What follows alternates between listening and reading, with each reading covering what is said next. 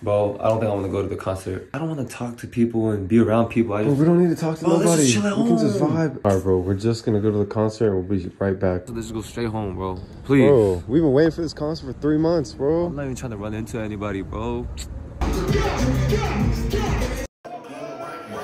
Bro, I'm done, bro. Y'all got it, bro. I'm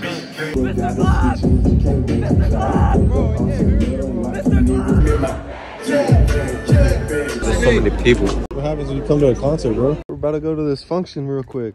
Function? Bro. Bro, you didn't tell me you said after the concert we're gonna go straight home. Bro, it's our friend's birthday. I told him you'd be there for his birthday. It's tonight, bro. It's tonight. Oh, I guess I guess we're all leaving. We just got here. We, you and me, we just got here.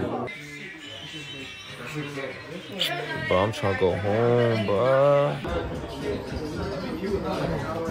No, I'm tired, bro. I told you this, bro. This is why I don't like going out with you. Relax, bro. Damn. I'm done, bro. I'm Bro, we gotta grab food though before.